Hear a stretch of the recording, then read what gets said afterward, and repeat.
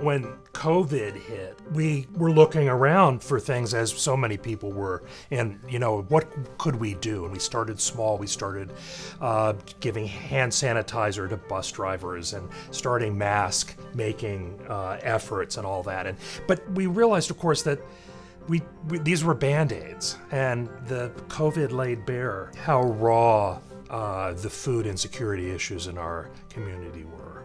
And we felt that we had to do something so much bigger so picture this august 2020 right? It's our first distribution. We're in at the rescue squad in the parking lot. We don't know who's going to come or what it's going to look like and we got 100 families came in. We just were thrilled excited overwhelmed. It was um, just something when we just didn't really know what we were doing but we did know that we were doing something right. And then it started growing and we Every had week. every week we had cars around the block. And down we had the to street. hire.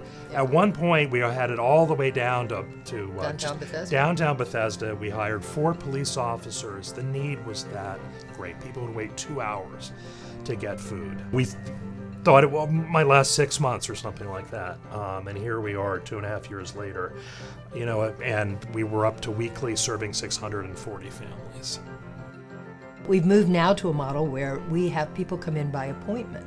They come in and they sit with us and they talk to us and we learn more about them and what their needs are because food insecurity is just the tip of the iceberg.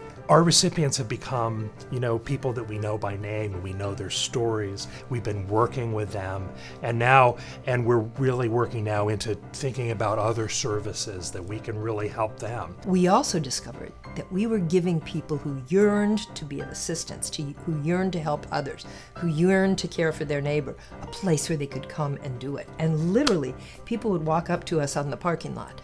Uh, at the Bethesda Chevy Chase Rescue Squad, where we do the, the did the food distribution every Friday, they'd say, "What are you doing?" And when we explained it to them, they were astonished and they said, "How can I help? How can I help?"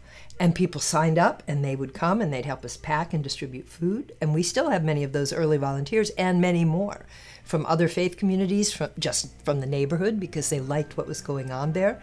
And that to me was one of the greatest gifts is that we were helping to create disciples in love of neighbor at the same time that we're, we're feeding people. So it's a, a fantastically fulfilling ministry. If I were to leave one thought with anyone listening to this discussion, it would be don't be afraid. I think that's the thing Jesus said most often in the Bible do not be afraid.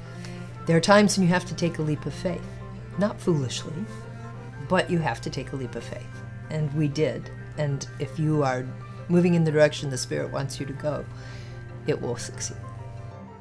And it can be a wild ride. I gotta tell you, this is not faith. When you open that up, it's like a fire hose, and it is exciting, but it's scary. It's like riding a wave. That's it's how I scary, but it's it. but it's oh, there's nothing like it. Nothing like it. I can tell you.